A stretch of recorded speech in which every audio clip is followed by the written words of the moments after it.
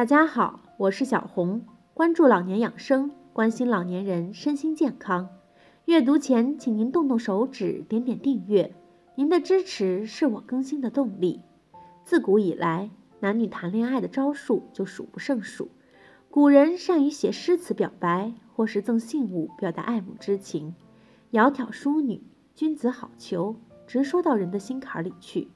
现代人的表白招数就更多了，送礼。吃饭、看电影都是小儿科，什么亲友团表白、才艺表白、包场表白等等，为了抱得美人归，不惜血本。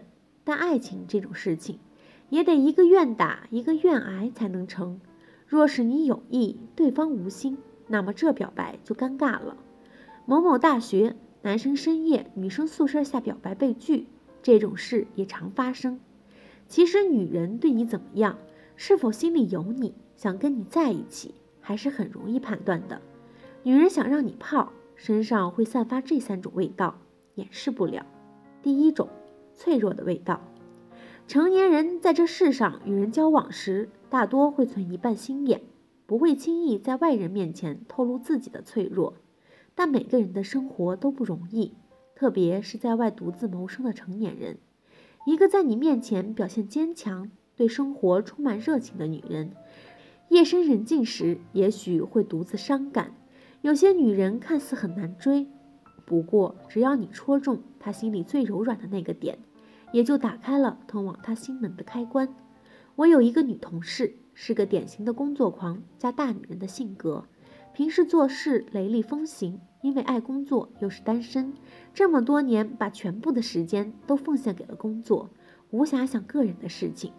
我从没见过她跟什么男人交往过，当然男同事也对她退避三舍，怕她，觉得她性格强势，不好相处。但就算是这样，她还是开始了一场办公室恋情。那男人是她的下属，也是个工作狂，经常在公司加班。两个单身的人相处久了，不知怎么就擦出火花来了。我跟女同事关系比较好，私底下问她。怎么就突然从大女人变小女人谈起了恋爱？女同事说，男人对她很好，她加班，他会贴心买饭送给她，还会把自己从家里煮的茶叶蛋带给她吃。再后来关系更熟了，男人会带爱心便当给她。就这样，一点点，女同事的心就沦陷了。从大学毕业到现在，她独自在这座城市打拼了八年，从没觉得自己需要男人。只有在夜深睡不着时翻朋友圈，看完别人秀恩爱，才会想自己是不是缺点什么。自从身边有个男人对自己献殷勤后，女同事像变了个人，特别感性和脆弱。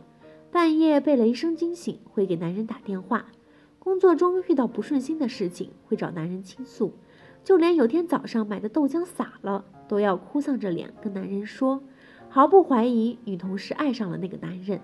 当一个女人完全不掩饰自己的脆弱，甚至在你面前处处散发着“我很脆弱，需要保护”的味道，那么男人就要多主动一点，早点表白，早点抱得美人归了。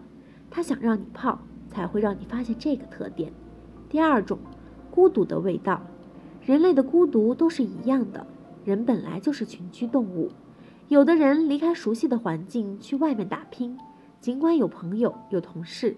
但一些心事依然不方便对外人讲，还有些人因为性格内向，朋友不多，交际圈子窄，心事就更不足为外人道也。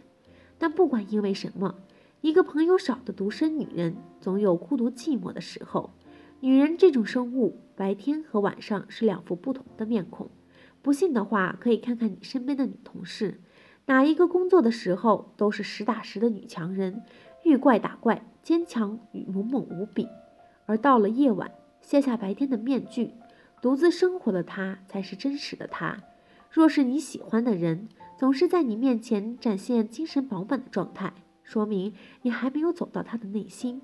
如果你喜欢的人除了工作之外的时间，特别是晚上喜欢找你聊天，那你就窃喜吧，他一定也喜欢你。太阳下山了，世界安静了。你所看到的远方只是身边的几平米，你的世界只剩下你自己。在这种状态下，人很容易感到孤独。当一个女人频繁在夜晚跟你倾诉她的孤独，聊一些对人生和生活的感悟时，她同时也在释放对你的好感。否则，大家都工作了一天，回家之后只想吃饭、看电视、睡觉，哪有精力用来闲聊？第三种，渴望爱情的味道。如果不是熟悉的人，不是在心里把你当做自己人，女人是很难对一个人主动聊起自己的感情的。我有一个朋友，跟女友就是这样走到一起的。他先对女友生了情，不知道对方喜不喜欢他，便时常找人家聊天，想博得个好印象。他女友也喜欢他，俩人天天聊着，就是窗户纸没捅破而已。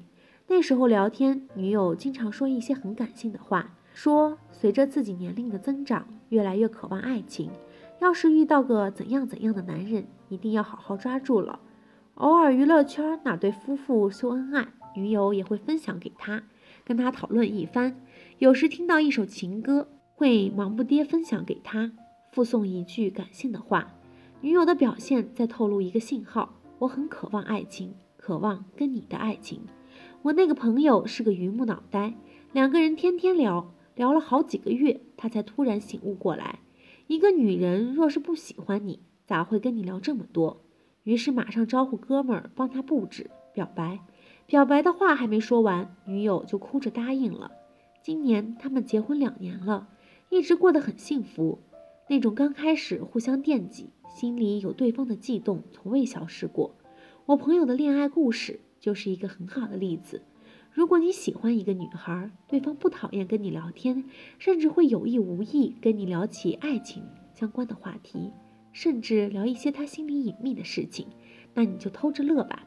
一个女人心里有你，想让你泡，大多有这些特点，错不了。她身上的这些特点就像味道一样，无法掩饰。这就是男女之间爱的信号。当我们在追爱的过程中，也要擦亮眼睛，把精力和思想用在值得爱的人身上，别错付了。爱情有时就是这么回事。郎有情，妾有意，就得抓住机会。毕竟在这个快餐时代，任何人都等不起。祝你可以抓住属于自己的爱情，好好相爱，互相珍惜。最后，感谢大家的观看，今天的分享就到这里了。如果觉得本视频对您有帮助的话，麻烦您点点订阅吧。